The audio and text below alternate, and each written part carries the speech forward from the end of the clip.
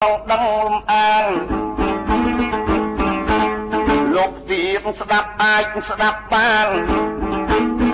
លំអានប្រពុតដែលលោកកសាងពេញបរមី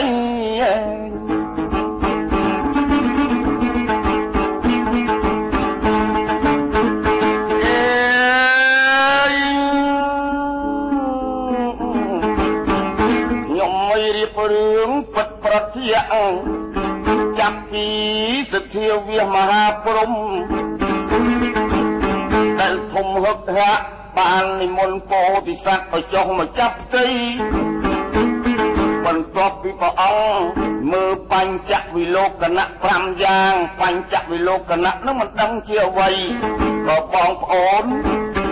ស្ដាប់ចបៃហើយអ្នកនិទានមិនខៃសេចក្តីមិនដឹងជាមានន័យយ៉ាងណាបញ្ចវិ